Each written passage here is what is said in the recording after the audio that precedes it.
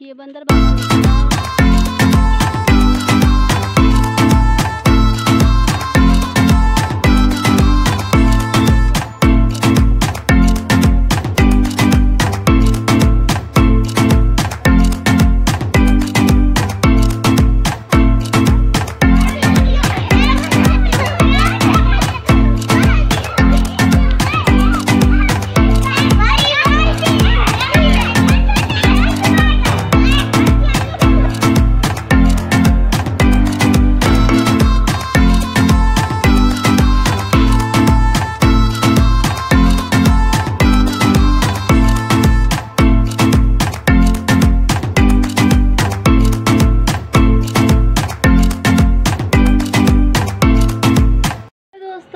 सभी का स्वागत है मेरे न्यू ब्लॉग में। तो अभी शाम के बज रहे हैं चार।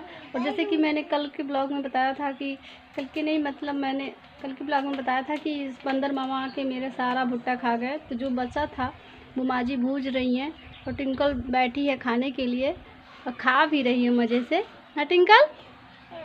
तो टिंकल को भुट्टा बहुत ज़्यादा पसंद है तो माँ जी आग जला के भूज रही हैं। आप लोगों को भुट्टा कैसा लगता है कमेंट में ज़रूर बताइएगा। टिंकल क्या कर रही हो बेटा?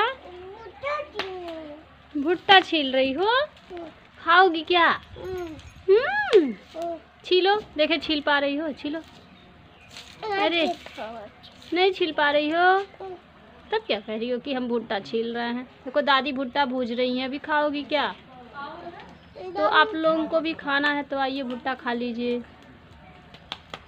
हमारे यहाँ गर्मा गर्म भुट्टा भूजा जा रहा है। बंदर मामा ने सब खा लिया जो बचा है वो भूजा जा रहा है। हाँ देखे बेटा कहाँ भुट्टा है उसमें? नहीं है भुट्टा। कहाँ भुट्टा है दिखाओ। ये बात है। कहाँ है? ये बात दिखाओ। अरे टिंकल तो भुट्टा छील ले रही है। बड़ी होशियार भाई। टिंकल क्या खा रही हो? क्या खा रही हो? ता भुट्टा। कौन भूजा है भुट्टा? दादी ओली। तो दोस्तों देखिए टिंकल बड़े मज़े से भुट्टा खा रही है और अभी ये बहुत ज़्यादा मतलब बड़ा नहीं हुआ है भुट्टा। छोटा छोटा ही है इसलिए इसका बहुत ज़्यादा मीठा है। और मीठे की वजह से टिंकल बहुत आसानी से खा पा रही है। तो माँ जी आग जला के भुट्टा भूज रही है क्योंकि भुट्टा आग पर ही अच्छा होता है। गैस का भूजा हुआ भुट्टा अच्छा नहीं होता ना टिंकल?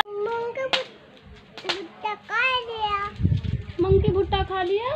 हम्म, अच्छा। हम्म, तो अब थोड़ा ही भुट्टा बचा है।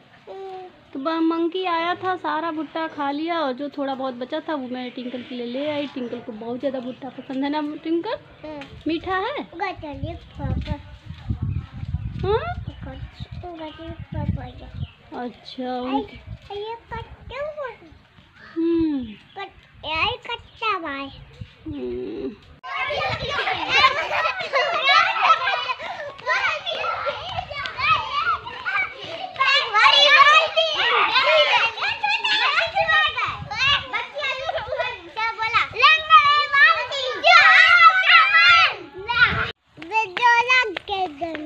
Bye bye